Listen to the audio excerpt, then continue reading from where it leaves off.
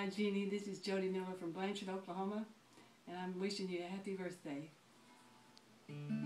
Once upon a time, there was a tavern where we used to share a glass or two. Remember how we whiled away the answers and think of all the good things